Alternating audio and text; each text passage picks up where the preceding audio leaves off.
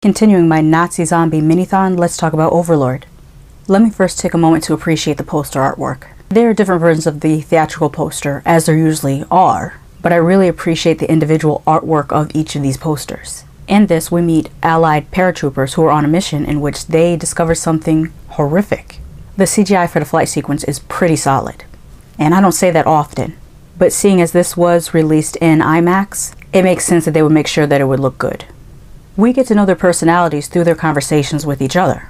They are each war movie archetypes, but their dialogue is written in a way that's more entertaining than anything. You end up at least halfway caring about this group of soldiers, if not rooting for them. I like that one character knew French because of his grandmother, then connected that to both Haiti and Louisiana. Some of you already know that my mother's family is from New Orleans, Louisiana. My great grandmother used to only speak to me in French until I was about six years old. My grandmother's grade school in New Orleans was taught in French, and her generation was the first to learn English, and she learned it about high school age. So that was very cool to add to his character. The troop encounters a woman who ends up helping them. I like that she wasn't the generic damsel in distress. I hate that type of writing. When they make a woman freak out and scream and cry, sitting right next to a weapon, that's that ish I don't like. So thank you for writing her character well. She was resourceful and she fought alongside the soldiers when she had to. She also had a little brother who looked to be about four or five years old that she was taking care of. Something happens that causes the men to be separated, and our main protagonist ends up alone behind enemy lines on a reconnaissance mission. This is where he finds the underground facility, and do I even need to finish that sentence by this point? We know what the plot's going to be. It's literally the same basic idea as the last two movies I just spoke about, except with a bigger budget. The writing is more interesting in this than in the last two movies. The dialogue is better and the characters have more individuality.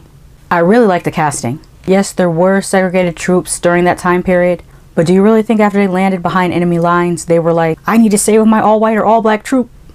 When the bullets and bombs are flying, I'm sure nobody had time for US's segregationist BS. Plus, where'd they put the Latinos, Native Americans, Asian troops, who also served in both world wars? I actually Googled that. They had segregated Chinese platoons, and they even had an all Puerto Rican platoon. But like I said, this could have been done in boot camp, but once you're on the battlefield and the bullets are flying, nobody's got time for that crap. There is a way they could have sidestepped this criticism. They could have had two sets of troops, showed their segregation on the plains, but then once they parachuted down, the two troops mixed together. That would have deaded that criticism. But seriously, if you're nitpicking realism in a movie about Nazi zombie ghoul creature things, you're paying attention to the wrong things. For our purposes here today in the 21st century, it doesn't matter. If it bothers you to see a mixed group of World War II soldiers, number one, I doubt you should be watching me. Number two, Google the word fiction. And number three, get some real problems in life, because this is not one.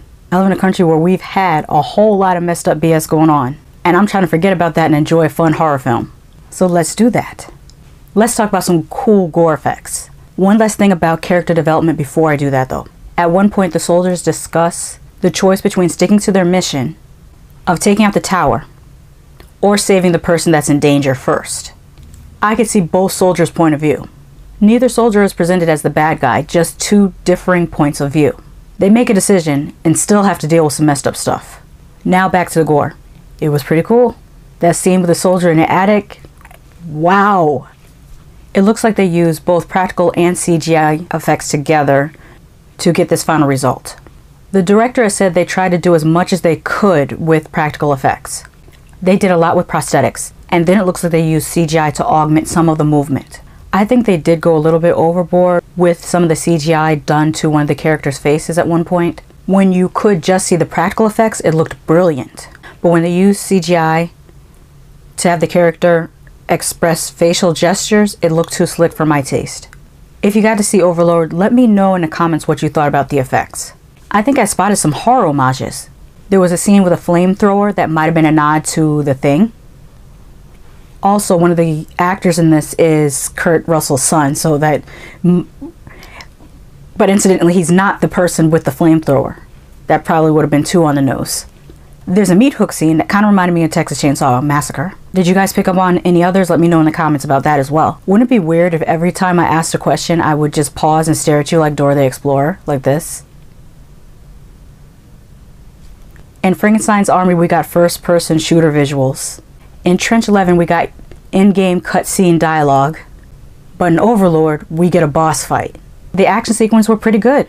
Not much shaky cam and the gunfights and explosions almost reminded me of how First Blood was shot. With a runtime of almost two hours, it never feels overly long or boring at any point. There's a full orchestral score for this movie and it's really good. I really enjoyed this and I wish I had gotten to see this in 4D, but those tickets are $28. Plus, I'd have to drive all the way over to International Drive.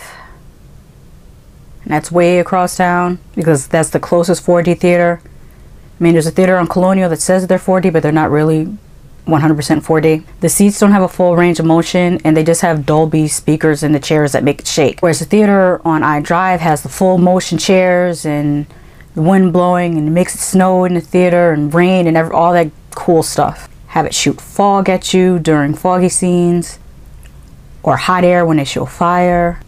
It's a whole experience. I just wish it cost less, like 15 or $20 because at almost $30 just for the ticket, then you have to pay to park. And if you didn't sneak your food in, then you're going to pay for concessions. You're looking at $50, $60 for one person. Anyway, I just wish it cost less, like $15, $20. I say all that just to say that this would have been a great time at the movie theater. I watched this on Amazon Prime in surround sound, and it sounded great. And before you say it in the comments, yes, I considered reviewing Dead Snow and Dead Snow 2 Red vs. Dead. I've seen both movies. I do have to rewatch them. I will review them eventually. This was such a good watch. I actually watched it three times, and it was enjoyable to me each time that I watched it. With that said, I'll be back in a moment to talk to you about Nazi Overlord.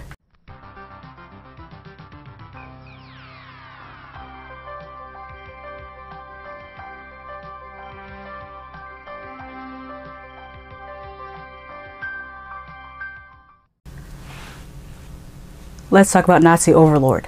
Not to be confused with Blumhouse's Overlord.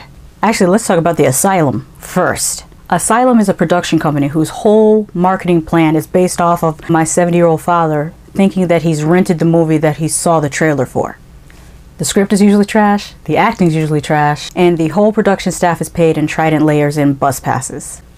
That's alright because we're not here for Oscar worthy masterpieces. We're here for fun. We're here for bad action sequences, with the kind of special effects that a middle schooler can make on their cell phone. Oh, and the obvious concept ripoff. Which reminds me, one of these days I need to review Atlantic Rim, not to be confused with Pacific Rim. Anyways, this movie stars a bunch of unknowns with a cameo from Tom Sizemore. Tom Sizemore is the Eric Roberts of Michael Madsen's. This group of soldiers has to go on a mission to rescue a British doctor from Nazis who are forcing her to do experiments. The outside scenes look like they were filmed at your local park. The Nazis' lab just looked like a cool old house, but the basement looked like an industrial boiler room. I was so bored during the first half of this that I started reading tweets about Dr. Pimple Popper.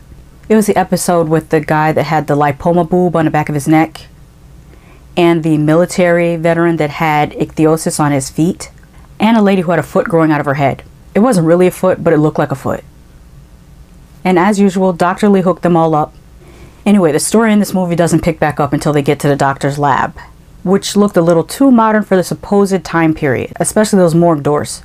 But the excitement only lasts for a moment because then it gets boring again. I have no idea what the doctor's doing. She's got some guys caged up. She gives one guy some water and then puts him in a cage with some insects that attack him. Then she collects one of the insects that attacked him.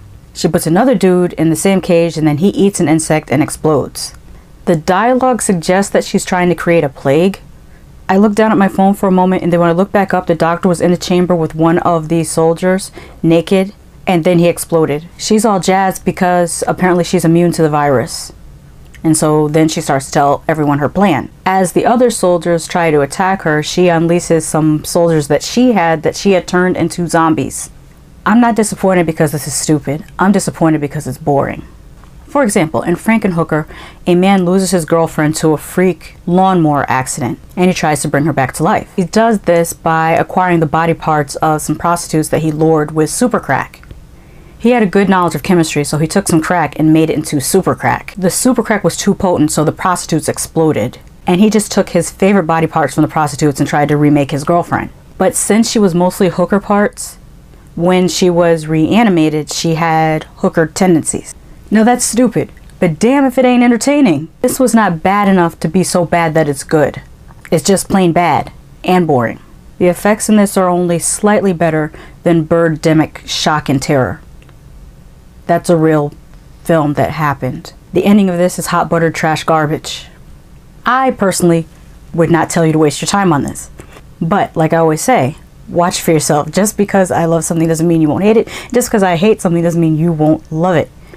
Have you seen Overlord or the Asylum ripoff Nazi Overlord? or any other Asylum ripoff movies? As a matter of fact, write in the comments your favorite Asylum ripoff movie. And that's all I got today. Bye.